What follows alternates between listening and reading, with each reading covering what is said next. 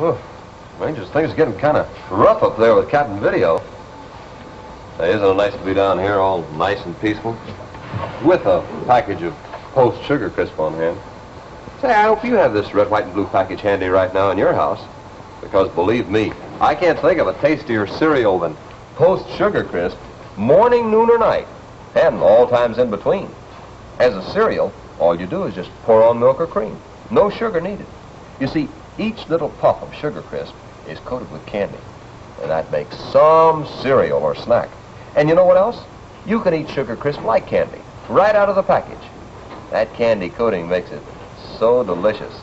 And it gives you quick energy, too, whenever you need it. You better remember to take a package with you when you go out to play. That candy coating is satisfying. Yes, sir.